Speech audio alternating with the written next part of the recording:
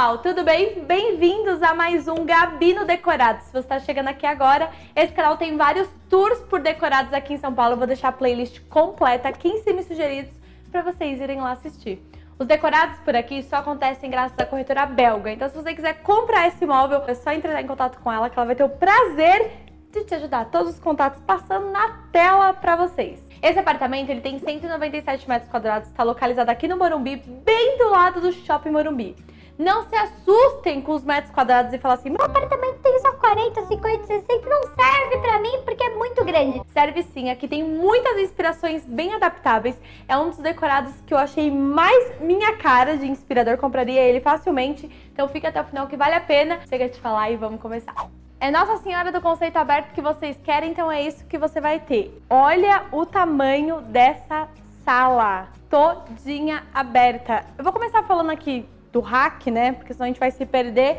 Eu adorei o estilo desse hack, achei ele super adaptável para casa de todo mundo. Eu gostei dessa cor, eu gosto dessa madeira mais escura, combinado com o branco. Achei que ficou bem legal. E repara que ela colocou umas ripas de madeira. Não tem uma lógica, né, amor? Tem um ali, um aqui, aí depois junta uma grande, uma pequena e uma maior. E eu gostei desse estilo, achei que ficou legal, eu curti. Muitos verdinhos, porque, né, the green is the new black.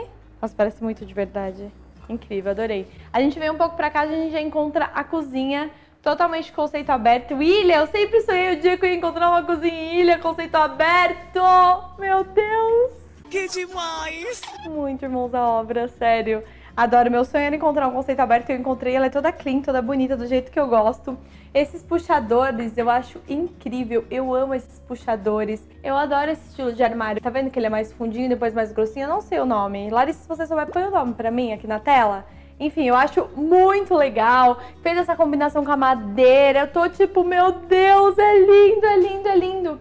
Aqui tem uma torre, eu também amo torre, principalmente porque fica na sua altura o forno, você não precisa ficar abaixando. O micro-ondas também fica na sua altura. Achei genial. Uma coisa que eu nunca tinha visto, tá vendo que tem essa. Vou chamar de saia.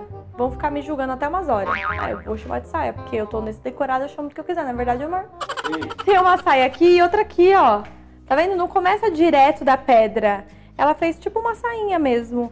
A única coisa que eu não gostei é que eu acho que fica muito baixo, né? É que eu sou muito alta, então pra mim fica muito baixo. A pedra, ela é Silestone, toda branquinha. Depois você encontra o cooktop, também ali de cinco bocas. Eu adorei esse espacinho aqui aberto. Não ficou fofo, amor, pra colocar decoração, colocar um negocinho pra você fazer chá, biscoito. Enfim, achei lindo. E o piso, gente, é tudo igual, tá?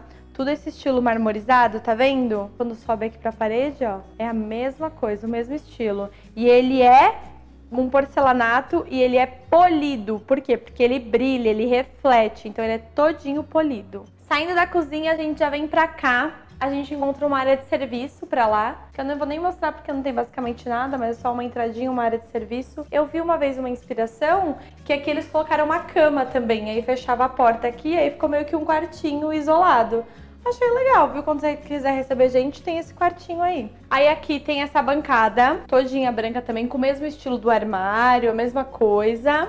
E pro lado de cá, olha aqui, ela colocou Decton. Brilha um pouco mais, você consegue perceber? O branco brilha um pouco mais.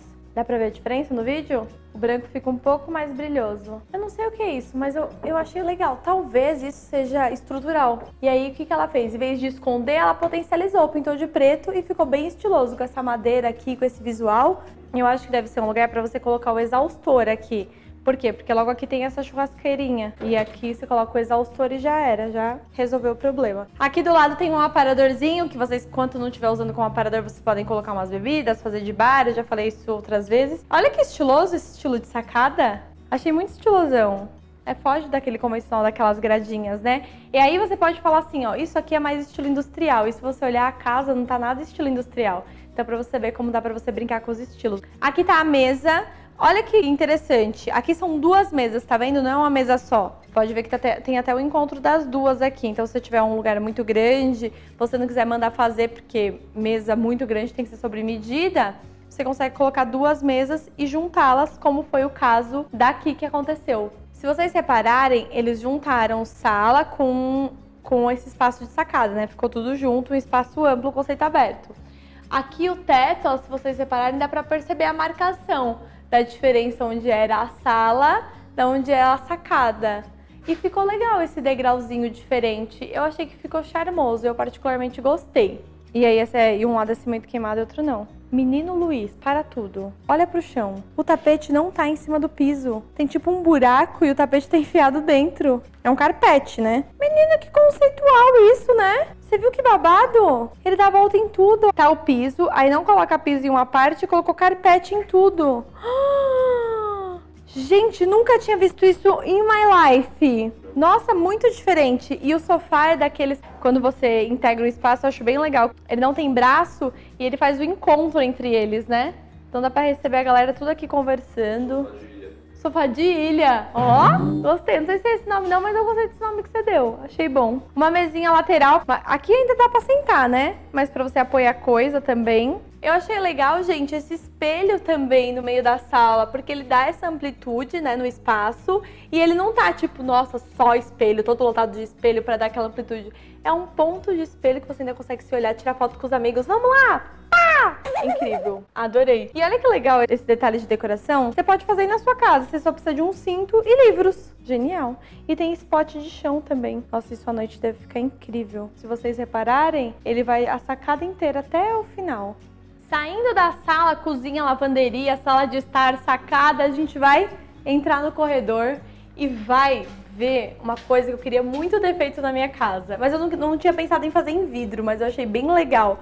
Quase uma casa de vidro, um quarto de vidro. Aquele meu quarto do escritório, lembra, amor? A gente pensou em algum momento como a gente conseguiria deixá-lo integrado e sem integrar. Não tinha pensado em vidro, porque eu acho que vidro suja muito, fica muita marca de dedo e dá uma judiada. Mas eu queria algo que eu conseguisse deixar o ambiente integrado quando eu quisesse.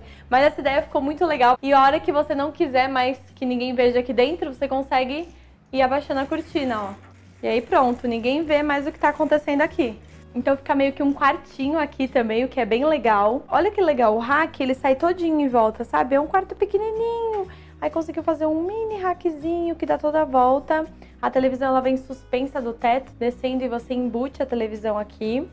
O carpete também, lembra o carpete que vinha lá da sala? Ele seguiu até aqui dentro, então ele vem desde lá até aqui, então fica bem confortável, fica um ambiente bem acolhedor. E ainda tem uma suíte aqui dentro. E é um banheiro mesmo, nem um lavabo. Tem um lugar para você tomar banho aqui, tá? Lava cabelo, adorei esse revestimento inclusive, esse porcelanato é incrível. E é legal que tem essa muretinha, ó, e ele valorizou a muretinha. Colocou espelho na muretinha, tem espelho nas bancadinhas, ficou bem legal. E a cuba é uma cuba de apoio. E parece aquela cuba do Smile, parece que ela tá sorrindo pra você. Adorei.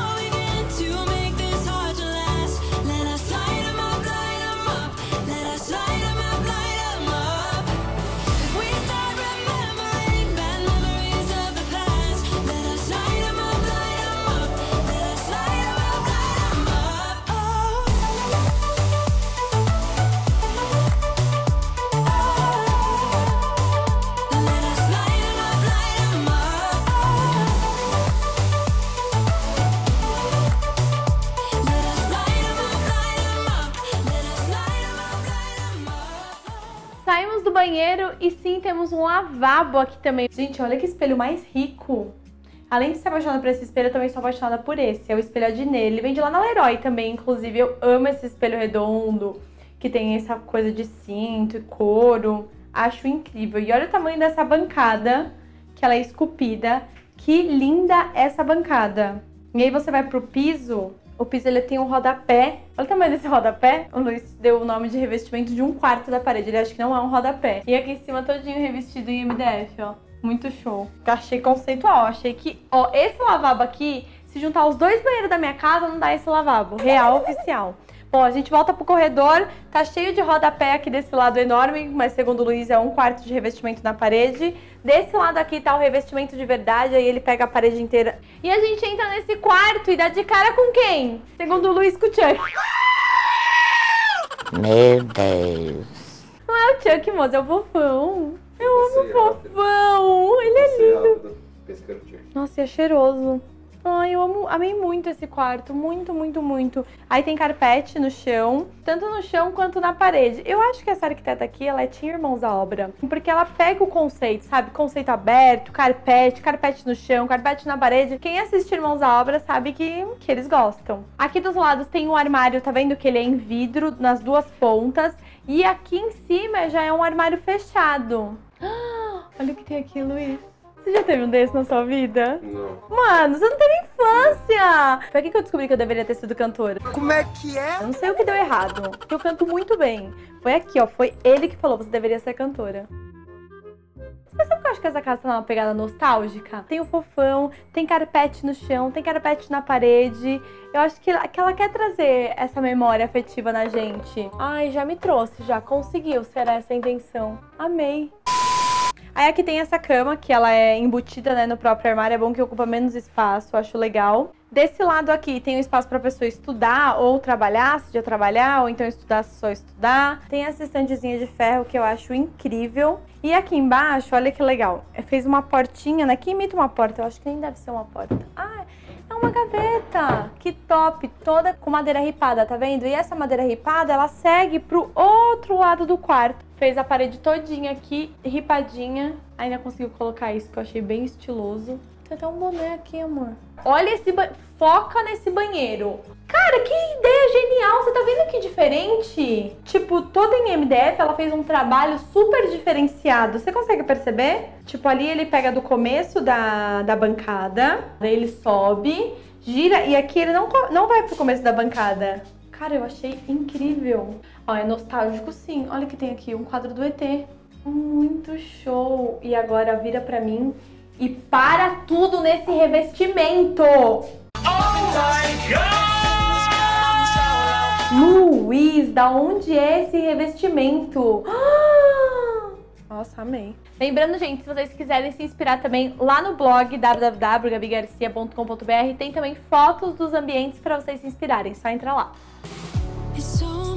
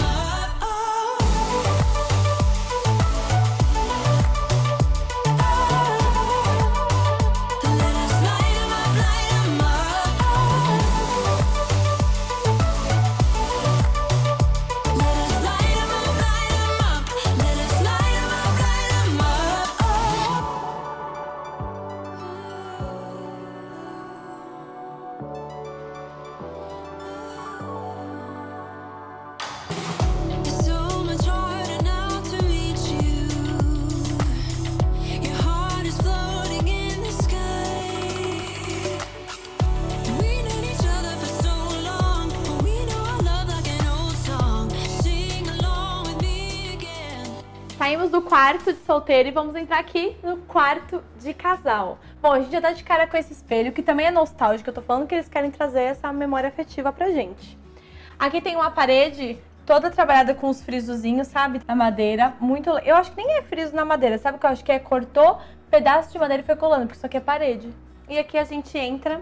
Tem um puta de um guarda-roupa desse lado, mas antes de eu ir pro quarto, vamos conhecer o banheiro. Tem essa cuba que é de chão, tá vendo, amor? A gente vê bastante na casa cor, né? Essa cuba de chão. Acho ela tão bonita. E eu achei engraçado porque ela é pra frente, tá vendo? Ela é uma de semi-encaixe, só que até o chão. Diferente, né? E aqui colocou ainda uns nichozinhos pra colocar toalha. Gente, isso é bem prático, sabe? Ter um nicho ou aqui ou embaixo do armário. Principalmente na hora de pegar toalha, eu falo pelo, menos pro meu estilo e pra minha rotina. Quando eu esqueço, só você descer e pegar, até mesmo papel higiênico, enfim, acho que fica bem legal. Aqui, olha que incrível, colocou um revestimento do lado de fora, que é diferente do que tá na casa inteira. E aqui do lado de dentro é um revestimento igual. Muito legal, né? E aqui atrás tem tipo um jardinzinho de inverno. Muito gostoso. Vocês vão ver na hora que chegar no quarto que é tipo uma casa de vidro, gente. Vocês vão ver que incrível, ó. Você tá vendo que é tudo aberto? É tudo de vidro. Olha aí, olha aqui demais! Meu Deus, imagine morar no último andar, assim. Eu tenho medo de altura, mas aí você podia ficar pelado todo cheio de vidro. E Gabriela, eu moro no andar baixo, eu queria minha privacidade, como é que eu faço? Tem um botãozinho aqui, ó. Eu vou apertar. Mano!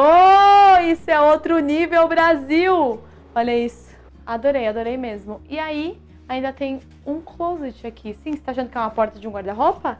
Não, isso aqui é a porta da esperança, Brasil. Olha isso!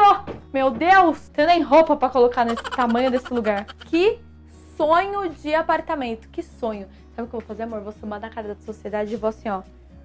Me jogar numa só. Um, dois, três e... Ai, Jesus amado, tô morta.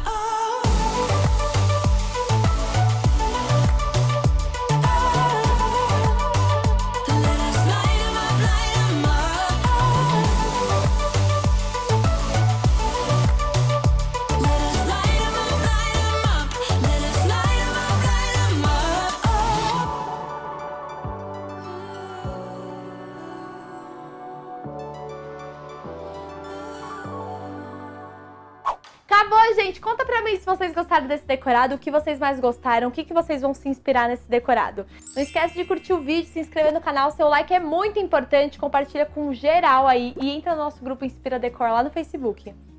Super beijo, fiquem com Deus e até o próximo vídeo. Tchau! Pelas minhas contas, essa hora eu tô em Cancún, Brasil! Eu tô aqui, eu tô lá em Cancún. Vai lá no Instagram e dá essa moral.